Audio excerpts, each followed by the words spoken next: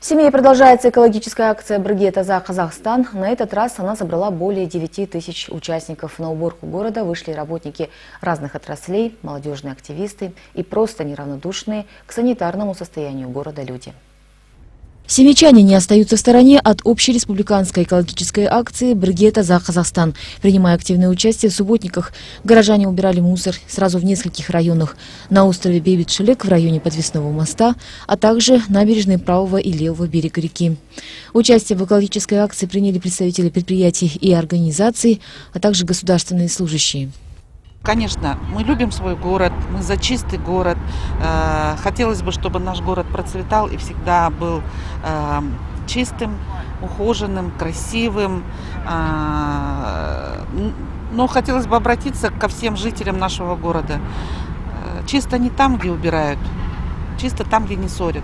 Поэтому очень больно это видеть, насколько захламленный берег Иртыша.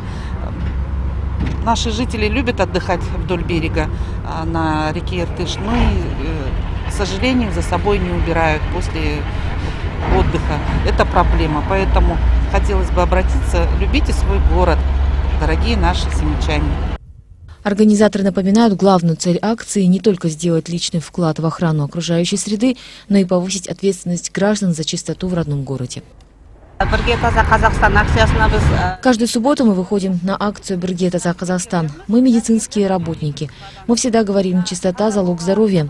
В сегодняшней акции от поликлиники номер 12 принимают участие 40 человек. Очень много мусора выходит во время уборки. Работы в этом плане еще много, поэтому хотелось бы, чтобы как можно больше горожан участвовало в данных субботниках. Я, конечно, за чистоту города. Желательно было, чтобы это участники побольше было так.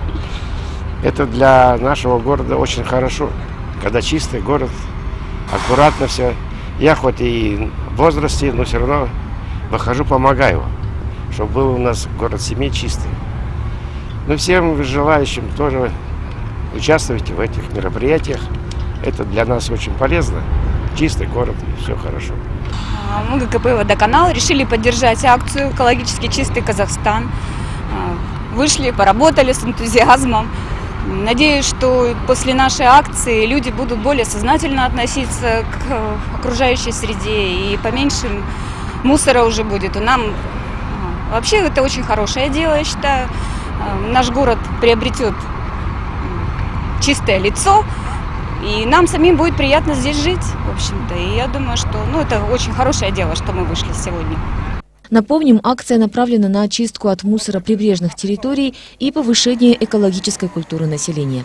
По данным коммунального отдела Акимата, всего в этот день было собрано 197 тонн мусора. Сауле Байгалиева, Карет Кужахметов, телеканал «Семей».